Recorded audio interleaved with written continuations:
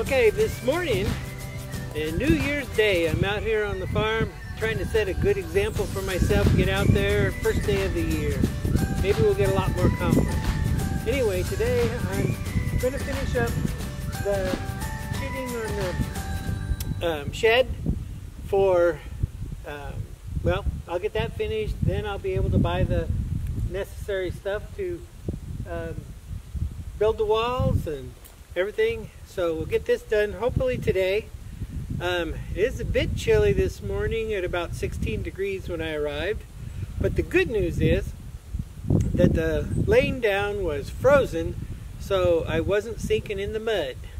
So it's not supposed to get above 30 uh, today here um, or about 30. So it probably will not soften enough for me to get stuck in the mud on the way out. At least that's the plan.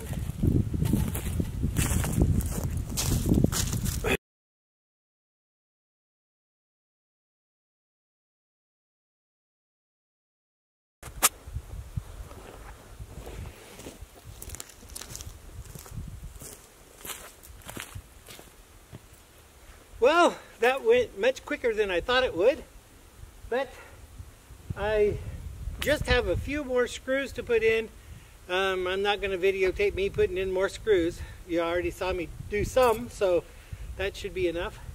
Anyway, so I'm going to put those screws in, clean up, and uh, then I'll be ready to either take on another project or leave.